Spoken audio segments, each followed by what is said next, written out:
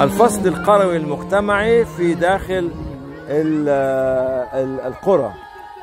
كما نرى ده فصل تحت الشجرة.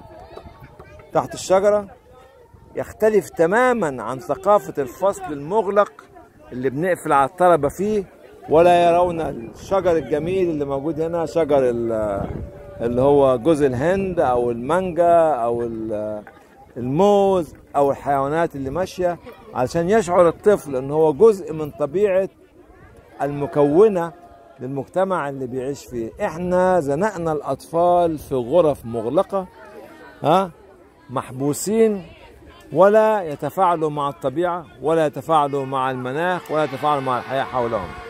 يعني نظام تعليمي غير جيد. وده كان. لا يتمشى ابدا مع رغبة الأطفال في الخروج وفي اللعب وفي ال- ال- المرح وفي رؤية الطبيعة وجمال الطبيعة وحوا... و... و...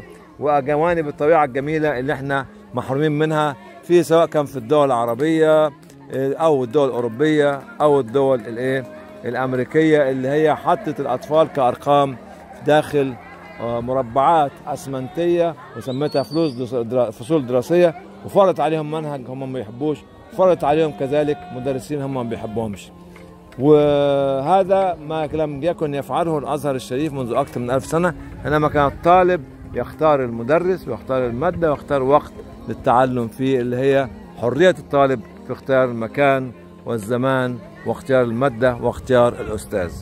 جزاكم الله خير والسلام عليكم ورحمة الله وبركاته.